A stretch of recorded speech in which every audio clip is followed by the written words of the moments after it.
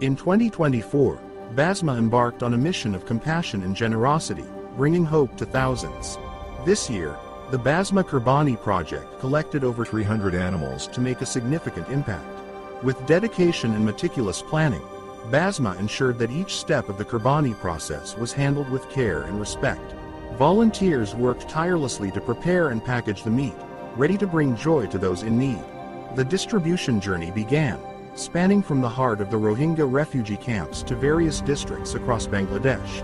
Every package symbolized not just meat, but a message of love and unity. In the refugee camps, where daily life is filled with challenges, this act of kindness brought smiles and relief to over 10,000 families. For many, it was more than just a meal, it was a moment of celebration and hope. BASMAH's reach extended far and wide, touching the lives of families in different districts across Bangladesh. From bustling urban areas to serene rural villages, the spirit of Qurbani united us all.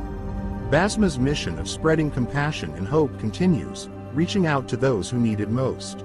Join us in making a difference, one act of kindness at a time. Together, we can bring hope. Together, we are BASMAH. Visit us at www.basmah.org and be a part of this journey.